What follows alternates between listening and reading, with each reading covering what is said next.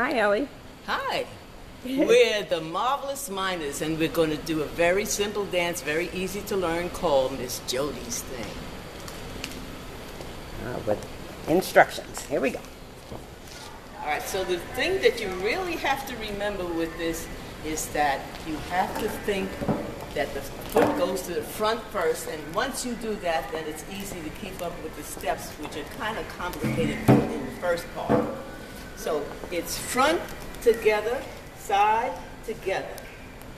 And then you're going to go to the left. So one and two. Then on the right side, you're going to do the same thing. Remember, front together, side together, one and two. Then it's very easy after this. You're going to scoot two on the left side. So a scoot is step, drag, step.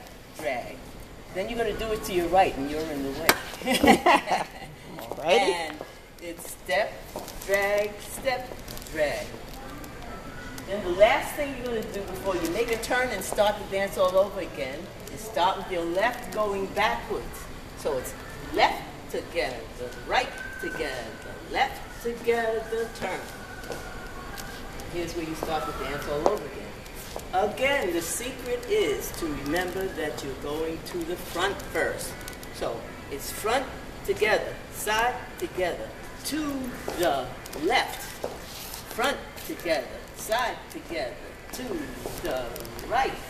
Scoot two to the left, and two to the right, and back to the left, and back to the right, and back to the left, and turn.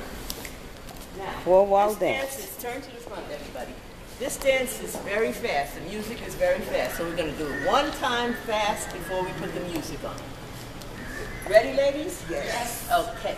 And front together, the side together, to the left. Front together, the side together, to the right.